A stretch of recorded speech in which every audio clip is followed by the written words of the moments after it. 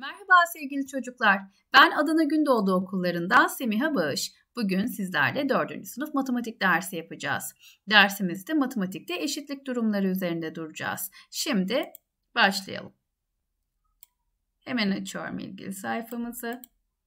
Matematikte eşitlik durumu. Eski harçlıklarımı 8 hafta boyunca biriktirdim. Baktım ki 80 TL birikmiş. Her hafta harçlığımın yarısını dedem, yarısını babam veriyor. Buna göre dedemin ne kadar harçlık verdiğini bulalım. Evet Emre, sen uzun zamandır evden getirdiğin sağlıklı yiyeceklerle besleniyorsun. Böylece harçlıklarının çoğunu biriktirmişsin. Bu işlemi çözerek dedenin ne kadar harçlık verdiğini bulabiliriz. 80 bölü 8 eşittir 10. Sizce neden 8'e böldü? Çünkü 8 hafta boyunca biriktirmiş. Bir haftada ne kadar biriktirdiğini bulalım. 80 bölü 8 eşittir 10 TL biriktirmiştir bir hafta. Biriktirdiği parasının yarısını dedesi yarısını babası verdiği için onu ikiye bölmüştür ve cevabımız 5 TL harçlık vermiştir dedesi. Öğrenelim. Hangi sayının 8 eksi 25'in 5 katına eşittir? Bakın hangi sayının diyor. Hangi sayının diyorsa ben bu sayıyı biliyor muyum? Bilmiyorum. Şu anda bilmiyorum. Bu işlemi yapmak için önce sorunun istediği matematiksel ifadeyi yazalım. Evet. Hangi sayının 8 eksi eşittir 25'in 5 katına eşittir. 25'in 5 katına eşittir. İşte biz bu ifadeye, şu gördüğünüz ifadeye eşitlik durumu deriz. Eşitlik durumunda eşitliğin eşitin, eşit sembolünün sol taraftaki sonuç ile sağ tarafındaki sonuç birbirine eşittir arkadaşım. Onun için bildiğim kısımdan başlarım. Yani 25'i 5 ile çarparım. 25'i 5 ile çarptığımda 125. Boş kutu eksi 8 eşittir 125 ise hangi sayıdan 8 çıkarırsak 125 kalır ifadesine ulaşırım. Boş kutu eksi 8 eşittir 125. Boş kutuyu bulmak için 125 ile 8'i topladım. Eşittir 133'tür arkadaşım. Bilgi bulutu. İki işlemin birbirine eşit olması, iki işlemin sonuçlarının aynı olması demektir. Yani eşitliğin sol tarafıyla sağ tarafının sonuçları birbirine eşittir. Eşitliğin iki tarafında farklı sayılar ve işlemler kullandık ancak aynı sonuca ulaştık. Bu durum farklı çözüm yolları kullanarak da eşitliği sağlayabileceğimizi gösterir. Aşağıdaki eşitliklerde verilmeyen sayıları bulup eşitliği sağlayalım. Şimdi arkadaşlar 12 çarpı 4 eşittir boş kutu eksi 2. Bu bir eşitlik durumu. Eşitliğin sol tarafıyla sağ tarafının işlem sonuçları birbirine eşit olacak. 12'nin 4 ile çarpımı hangi sayının 2 eksiğine eşittir? 12 çarpı 4 eşittir 48. Evet. Boş kutu eksi 2 eşittir 48. Boş kutuyu bulmak için ne yapacağım? 48'i 2 ile toplayacağım. Boş kutuyu bulmak için ne yapacağım? 48'i 2 ile toplayacağım. 50. Önce eşitlikte verilen sayılarla işlem yaptık. Bakın 12 ile 4'ü çarptık. 48. Boş kutu eksi 2 eşittir 48'den cevabımızı yani boş kutuyu verilmeyen terimi 50 bulduk. Şimdi 84 eksi 4 eşittir boş kutu artı 2. 84'ten 4 çıkartırız. Neden? Bildiğimiz terimlerden yola çıktık. 84'ten 4'ü çıkardık. Nedir? 80. Bulduğumuz sonuç hangi sayının yarısıdır? Yani 80 hangi sayının yarısıdır? Boş kutu bölü 2 eşittir 80. Boş kutuyu bulmak için de 80'i 2 ile çarptık. 160 bulduk. Şimdi devam edelim. Hangi sayının yarısı 36'nın 10 katına eşittir? Hangi sayının yarısı? Hangi sayının diyorsa ben şu anda bu sayıyı bilmiyorum. Ama bildiğim bir şey var. Bu sayı yerine boş kutuyu kullanabilirim. Hangi sayının yarısı 36'nın 10 katına eşittir? Yani 36 çarpı 10. Neydi eşitlik? Her iki durumda yani eşitliğin sol tarafındaki sonuç ile sağ tarafındaki sonucun birbirine eşit olmasıydı. 36 çarpı 10 eşittir 360. Boş kutu bölü 2 360'a eşitmiş. Boş kutu yani bir sayı var. 2'ye böldüğümde 360 buldum. Bu sayıyı bulmak için ne yapacağım? Evet 360'ı tabii ki de 2 ile çarpacağım. Hemen çarpıyorum. 2 kere 0 0 6 kere 2 12 elde var 1 3 kere 2 6 bir de elde var 7.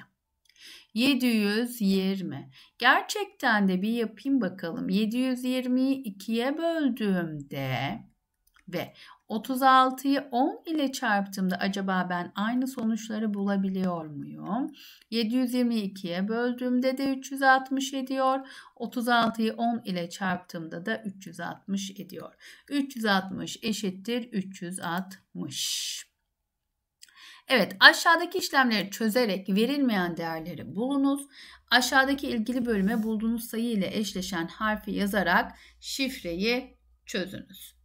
Öncelikle arkadaşım neyi yazmış? 630 bölü 7 eşittir boş kutu artı 18. Şimdi bildiğim yerden başlıyorum. Bu bir eşitlik durumu. Sol taraf ile sağ tarafın sonuçlarının birbirine eşit olduğunu biliyorum arkadaşım. 630'u 7'ye böleceğim. Hemen bölüyorum. 630 bölü 7. 7 kere 9 63 olduğunu biliyorum. Yanına 0 koyuyorum 90. Boş kutu artı 18 eşittir 90'mış. Evet. Boş kutuyu bulmak için ne yapacaksın, ne yapacaksın arkadaşım? 90'dan 18'i çıkartacağım. Bir onluk aldım. 10'dan 8 çıkardım 2. Burada kaldı 8. 8'den 1 çıkardım 72. Boş kutu eşittir 72 çok güzel. Şimdi 996 bölü 12 eşittir 1 çarpı boş kutu. Bildiğim kısımdan başlıyorum. Ne yapıyorum? 996'yı 12'ye böleceğim. Bölüyorum. 8'den başlayalım. 2 kere 8 16'nın 6 elde var 1. 8 kere 1 8 bir daha elde var 9. 9'dan 6 çıkardım 3. 9'dan 9 çıktı 0. 6'yı aşağı indirdim. 36'ın içinde 12 3 kere var. 3 kere 2 6 3 kere 1 3. Ne kaldı burada? 83. 83 nedir? 1 çarpı boş kutu. 1 ile neyi çarparsam 83 eder? Tabii ki boş kutu burada nedir? 83'tür. Hemen diğerine gelelim. 30 çarpı 50 eşittir boş kutu bölü 10. Her zamanki gibi bildiğimden başlıyorum. Ne yapıyorum kısa yoldan çarparken bir hatırlayayım. 3 kere 5 15. Hemen onları çarpıyorum. Yanına 2 tane sıfır ekliyorum. Çünkü bir bunun sıfırı var. Bir diğerinin sıfırı var. 3 kere 5 15. Bir bunun sıfırını ekliyorum. Bir de diğerinin sıfırını ekliyorum. 1500. Boş kutu bölü 10 eşittir 1500'müş arkadaşım. Neyi ona bölersem 1500 bulabilirim? Ne yaparım? 1500'ü 10 ile çarparak sonucumu bulabilirim. 1500'ü 10 ile çarpmak demek ne demek? 1500'ün yanına bir tane sıfır eklemek demek. Cevabım da 15.000 olur. Şimdi sayfamı şöyle bir temizleyeyim. Evet devam edeceğim diğerinden. Boş kutu çarpı 9 eşittir 900 artı 9. 900 artı 9 kısmını bulabilirim. 900 ile 9'u topladığımızda 909 eder. Boş kutu çarpı 9 909'a eşitmiş. Yani 909 boş kutu çarpı 9'muş. Bu boş kutuyu bulmak için ne yapacağım? 909'u 9'a böleceğim. 1 kere 9 9 9'dan 9 çıkarsa 0. Bu 0'ı hem aşağı indireceğim. 0'ın içinde 9 0 kere var. 0 kere 9 0 0'dan 0 çıktı 0. Bu 9'u aşağı indireceğim. 9'un içinde 9 1 kere var. 1 kere 9 9 9'dan 9 çıkarsa 0. Evet. Buradaki boş kutum ne oluyor arkadaşlar? 101 oluyor. Şimdi şu işleme bakalım. 1130 ile boş kutuyu toplamış. Bunun sonucu 980 ile 750'nin toplamına eşitmiş. Hemen 980 ile 750'yi topluyorum. 0 0 daha 0 8 5 daha 13'ün 3 elde var 1 9 7 daha 16 bir de elde var 17. 1730 1730 1130 artı boş kutu 1730'muş. Boş kutuyu bulmak için ne yapacağım? 1730'dan 1130'u çıkartacağım arkadaşım. 0 0 7'den 1 çıktı 6 cevabım da 600 olacak. Evet diğerine bakalım. 380 çarpı boş kutu eşittir 2280 bölü 2. 2280 bölü 2. 2280'i bulmak için ne yapacağım? 2280'i bulmak için 2'ye böleceğim. 2'nin içinde 2 bir kere var. 1 kere 2 2 2'den 2 çıktı 0. Bu 2'nin içinde 2 bir kere var. 1 kere 2 2 2'den 2 çıkarsa 0. 8'in içinde 2 4 kere var. 4 kere 2 8. 8'den 8'i çıkartırsam 0. Bu 0'ı hem buraya yazıp hem buraya yazabilirim. 1140. 380 ile pardon ne oldu? Şöyle silelim. 1140'ı aklımda tutayım. Şöyle. Evet 380 ile bir şeyi çarpmış. Sonucum da 1140 olmuş. Nasıl yapabilirim?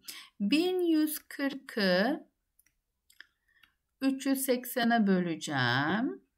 Buradaki sıfırlar birbirini görmesin. 3 kere var diyebilirim. 3 kere 8 24'ün 4'ü elde var 2. 3 kere 3 9 2 daha 11. Evet bölümüm 3. Şuna bakalım. 1200 bölü 600 eşittir 74 eksi boş kutu. Hemen buradan bir sıfır, buradan bir sıfır, buradan bir sıfır, buradan bir sıfır sildim. 12'yi 6'ya böldüğümde 2. 2 eşittir 74 eksi boş kutu. 74'ten neyi çıkartırsam 2 kalır. Nasıl yapmam gerekir bunu arkadaşlar? 74'ten bir şey çıkardım. 2 kaldı. 74'ten hemen 2'yi çıkartabilirim. Cevabım da 72 olur. Evet eşitlik durumunda öncelikle ne yapıyoruz? Bildiğimiz sonucunu bulabildiğimiz taraftan başlıyoruz. Şimdi devam edelim. Bir hayvanat bahçesindeki fillere ve zürafalara verilen ot miktarı eşittir. 22 filin her birine 5'er kilogram ot verilmiştir. 11 zürafanın her birine kaçar kilogram ot verileceğini bulunuz. İşlemi matematiksel eşitlik şeklinde yazınız ve çözünüz. Şimdi 22 fil. Doğru mu? Doğru. Her birine 5 kilogram ot mu veriliyor? Toplam ne kadar ot olması gerekir? 22 çarpı 5 kadar ot olması gerekir. 11 zürafanın da her birine aynı miktarda mı ot verilecek? Evet. Ama ne kadar ot verileceğini bilmiyorum. Kaç kilogram ot verileceğini bilmiyorum. Ne yaparım? Eşitliğimi hemen kurarım. Neyden yola çıkıyorum? Bildiğim taraftan bilmediğim tarafı bulmaya çalışıyorum. Yani 22 ile 5'i çarpıyorum hemen. 5 kere 2 10'un 0 elde var 1. 5 kere 2 10 bir de elde var 11. 110. 110 nedir? 110 eşittir 11 çarpı boş kutu. Boş kutuyu bulmak için ne yapacağım? 110'u 11'e böleceğim. Cevabım da 10 kilogram olur. Evet. Devam ediyorum arkadaşlar. Matematikte eşitliği sağlama. Ezgi arkadaşlarla bahçede yakan top oynayacağız. İlk önce 8 kişi oynamak istedi. Sonradan 2 kişi daha geldi. Her grupta kaç kişi oldu saydın mı? Evet Emre. Bizim sınıftan 5 kişi, yan sınıftan da 7 kişi var. Bu durumda gruplar arasında eşitlik sağlanmıyor. 8 artı 2 eşit değildir 7 artı 5'e. Çünkü birinin sonucu 10, birinin sonucu 12. İkinci gruptan bir kişiyi diğer gruba alırsak eşitlik sağlanır. 11'e 11 olur. Eşitliği sağlamak için 11'e 11 olur. Evet. Devam ediyoruz arkadaşlar. Evet 684 bölü A eşittir 36 çarpı 19 eşitliğinde A yerine hangi sayı gelmelidir? 684'ü hangi sayıya böldüğümüzde 36'nın 19 katına eşit olur? 684'ü hangi sayıya böldüğümüzde 36'nın 19 katına eşit olur. Öncelikle 36 ile 19'u çarpıyoruz. 684. 684 bölü boş kutu eşittir 684 ise 684'ü hangi sayıya bölersek yine 684 elde ederiz. 684 bölü 1 eşittir 684 olduğuna göre A yerine 1 gelmelidir. Devam edelim. Esra'nın kumbarasında 18 tane 5 TL, Emin'in ise 11 tane 10 TL'si var. Esra'nın kumbarasında 18 tane 5 TL, Emin'in ise 11 tane 10 TL'si var. Bu durumda iki kardeşin paralarının eşit olması için ne yapılmalıdır? Bu işlemi yapmak için önce sorunun istediği matematiksel ifadeyi yazalım. Esra'nın 18 tane 5 TL'si var. 18 çarpı 5 eşittir 90 TL'si var. Emin'in ise 11 tane 10 TL'si var. 11 çarpı 10 eşittir 110 TL'si var. Şimdi birinin 90 TL'si var Esra'nın, Emin'in 110 TL'si. Eşit olması için eşit olması için Emin'in Esra'ya 10 TL vermesi gerekir. Eğer ki Emin Esra'ya 10 TL verirse Emin'in 110 TL'si vardı değil mi? 10 TL çıkartırsak kaç lirası kalır? 100 TL'si. Esra'nın da 90 lirası vardı. 10 lirayı alırsa Emin'deki kaç lirası olur? 100 TL'si. Bakın sonuçlar birbirine ne oldu? Eşit oldu. Eşitlik bu durumda ne oldu? Eşitlik bu durumda sağlandı. Okulumuz futbol turnuvasına katıldı. Her takımda bir kaleci ve 10 oyuncu vardır. Oyuncuların diziliş şekline göre bir sistemi vardır. Biz 4-4-2 sistemiyle oynuyoruz. Karşı takım da 3-5-2 sistemiyle oynuyor. 4-4-2 dediğimiz 4 artı 4 artı 2. Diğeri de 3 artı 5 artı 2. Toplam kaç ediyor arkadaşlar? Kaç kişi oynuyor şu anda? 4, 4, 8 daha 2 daha 10. 5, 3, 8, 2 daha 10. Birer de kaleci 11 kişiler. Karşı takımdan bir oyuncu kırmızı kart alarak oyundan çıkarılıyor. Ne oldu? Eşitlik bozuldu bu durumda bakın. Burada 10 kişi vardı. Burada 9 kişiye düştüler. Futbol turnuvasına katılan takımların eşitliğinin sağlanması için ne yapılmalıdır? Bu işlemi yapmak için önce sorunun istediği matematiksel ifadelerin çözümlerini bulalım. Her ikisi de onar kişi, birer de kaleci 11 kişi aslında. Karşı takımdan bir oyuncu oyundan çıkarılınca 9 oyuncu kaldı. Futbol turnuvasına katılan takımların eşitliğinin sağlanması için karşı takıma bir oyuncu eklenebilir. Ancak futbol oyunun kuralları gereği kırmızı kart alan takım oyuna 9 kişi devam eder. Yandaki eşitlikleri kontrol ediniz. Doğru olanların karşısına D, yanlış olanların karşısına Y yazınız. Yanlış ise doğrusu karşısındaki boşluğa yazınız. Doğrusunu karşısındaki boşluğa yazınız diyor. İşlem 2400 bölü 100 eşittir 1 çarpı 24. Bakalım. Hemen buradan bir sıfır, buradan bir sıfır siliyorum. Buradan bir sıfır, buradan bir sıfır. 24'ü bile, bö bile böldüğümde, 1'e böldüğümde 24'tür. 1'i 24 ile çarptığımda 24'tür. Ve bu işlem doğrudur arkadaşlar. 1800 bölü 100. Buradan bir sıfır, buradan bir sıfır, buradan bir sıfır, buradan bir sıfır. 18'dir. 18'in bile 1'e bölümü. 18 eşittir 18 çarpı 10 mu? Hayır 18 çarpı 10 da 180'dir. Bu eşitlik doğru değildir. Bu eşitlik kesinlikle doğru değildir. Eğer ne yapsaydı? Eğer 1800'ü 1800'ü 1800'ü ona bölseydi ne yapardık? 180 olurdu. 18'i 10 ile çarpsaydı ne olurdu? 180 olurdu. İkisi de birbirine eşit olurdu. Şu eşitliğimize bakalım. 3000 bölü 1000. Şimdi bir buradan, bir buradan, bir buradan, bir buradan, bir buradan, bir buradan. 3'ü 1'e böldüğümde 3. 3 eşittir. 300 çarpı 100. 300 çarpı 100 300 bir de burada iki tane sıfır atardık. Şu şekilde pardon 30 bin. Bu buna eşit kesinlikle değildir. 30 bin. 30 bin. Peki eşitliğin olması için ne yapılması gerekir? Ne yapılması gerekir? Bu yanlıştı. Bu da yanlış. Bu eşitliğin olması için yani 30 bini bulmam için benim de 3000'i 10 ile çarpmam gerekebilirdi. Yani 3000 çarpı 10 eşittir 300 çarpı 100 yapabilirdim arkadaşlar bunu. Hemen şuna bakalım. 7800 bölü 78. Hemen bölüyorum. 7800'ü 78'e böldüğümde 100 olur. 100 eşittir 25 çarpı 4. 4 kere 5 20'nin sıfırı elde var 2. 4 kere 2 8. 2 daha 10 eşittir. Bu da 100. 100 eşittir 100. Bu doğrudur arkadaşlar. Evet şuradan devam edelim.